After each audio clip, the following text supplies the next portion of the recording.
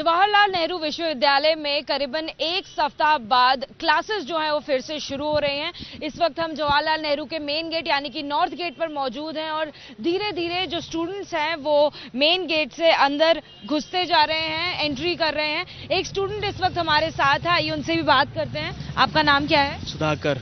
सुधाकर आप कौन से सब्जेक्ट के स्टूडेंट हैं? एम बी ए। एमबीए कर रहे हैं। आपने रजिस्ट्रेशन कराया है अभी तक? हाँ मेरा हो गया कल ही हुआ। आपने कल ही कराया तो ये दबाव में रहकर कराया है या फिर आपको कराना ही था? नहीं नहीं मेरे को कोई प्रेशर नहीं था।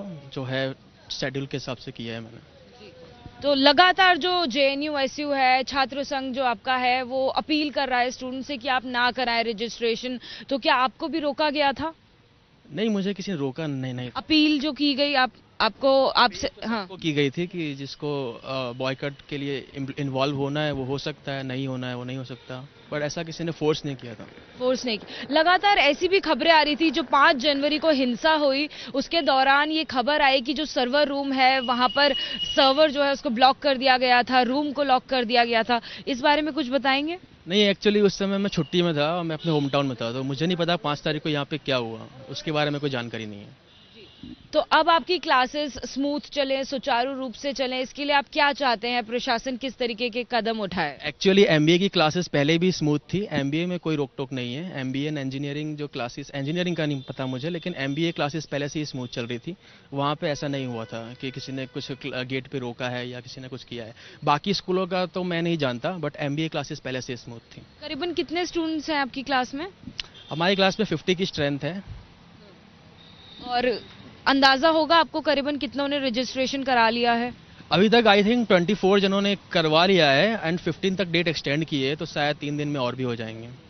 यानी कि आधे जो लोग हैं 50 परसेंट लोगों ने करा लिया है। तो करीबन आपकी कितनी फ़ीस पहले से बढ़ी है अब तक?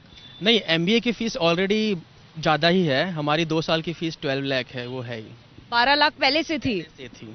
और बढ़ने के बाद कितनी हुई है? बढ़ाई नहीं गई है। हमारी जो ट्वेल्व लाख है वो ट्वेल्व लाख ही है। हमारी पहले से ही इतनी फ़ीस थी और इतनी ही रही।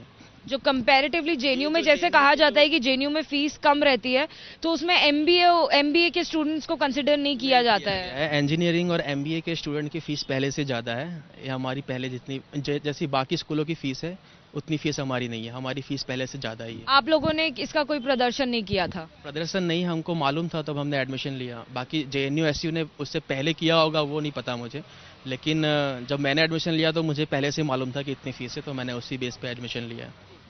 तो जेएनयू के छात्र जो एमबीए पढ़ते हैं, उनसे हमने बात करी। इसी के साथ में आपको बताएँ कि जेएनयू में आज से सोमवार से क्लासेस शुरू हो गई हैं। धीरे धीरे जो स्टूडेंट्स हैं, वो एंट्री गेट से अंदर जा रहे हैं। हालाँकि जो मेन गेट पर दरवाज़ा जो है, इस पर आप देखेंगे, ताला अब भी जड़ा हुआ है। यहाँ से गाड़ियाँ फ़िलहाल अलाउड नहीं है। जो कई छात्र हैं, वो अंदर चलकर जा रहे हैं। कई किलोमीटर लंबा जो रास्ता है, वो उन्हें तय करना पड़ रहा है। और फ़िलहाल मेन गेट को नहीं खोला गया है। जेएनयू, एसयू, यानी कि जो जवाहरलाल नेहरू यूनिवर्सिटी का छात्र संघ है, वो लगातार स्टूडेंट से बाइकआउट करने की अपील कर रहा है कि रजिस्ट्रेशन ना करें, कक्षाओं को बाइकआउट करें। और जब तक की फ़ीस रोल बैक नहीं होता है, तब तक कोई भी छात्र कक्षाओं में ना बैठे, वापस से ज्वाइन ना करे। ये अपील जेएनयू की तरफ़ से जारी की जा रही है। हालाँकि प्रशासन ने लगातार ये अपील की है कि जो छात्र बाहर रहते हैं, दिल्ली से बाहर के छात्र हैं, वो भी जल्द से जल्द आ जाएँ और अपनी कक्षाओं को वापस से ज्वाइन करें। कैमरा पर्सन जितेंद्र के साथ जातिका सिंह, एबीपी न्यूज़, दिल्ली।